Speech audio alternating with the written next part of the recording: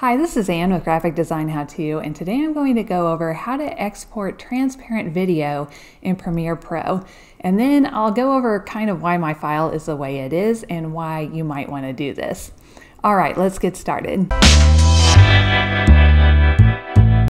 Okay, so I've got this little animation and I want to export this with a transparent background.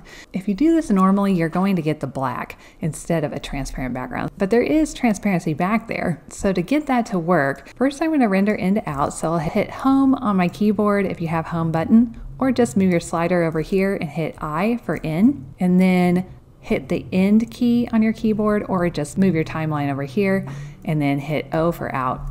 Then we'll go to sequence, render in to out. Once that's done, we'll go to File, Export, Media. I'm going to come down here to the preset, and click the three little buttons and choose More Presets. And then I'm going to search for Alpha because having an alpha channel allows us to have transparency. Now the one I want is this one here, the GoPro Cineform RGB at maximum bit depth. So I'm going to choose that and I'll say OK. And then I want to make sure my quality here is at 5. We want it to be the highest quality that it can be and then we'll export this. And now I'm just going to double check that it worked. And that export creates a .mov file. So I'm just going to pull this down onto my other video and you can see it actually does have a transparent video.